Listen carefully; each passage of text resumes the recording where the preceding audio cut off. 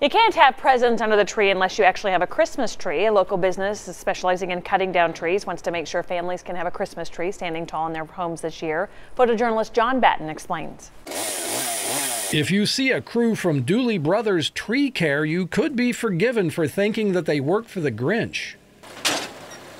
They have scary looking tools, and they do take your tree away and chop it into pieces.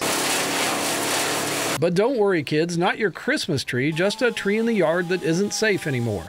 In fact, the owner wants to give people Christmas trees. We know that Christmas can be a tough time for some people, so we're trying to uh, take some of that burden off and provide some families with free Christmas trees so they can focus more on giving presents to their kids. He has an ambitious timeline. After all, the holiday is rapidly approaching. He needs names so he can make a list. And by the end of this week, we'd like to have our people picked out and go buy some Christmas trees for them and deliver them to them on Friday this week.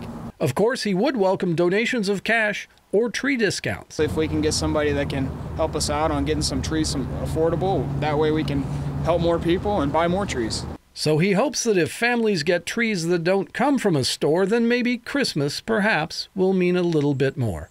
John Batten, 41 Action News. The rhyming was a nice little touch, John. Thanks for that story. If you know a family in need or want to donate, Dooley Brothers Tree asks that you contact them through their Facebook page or by calling their office. We posted that information at kshb.com.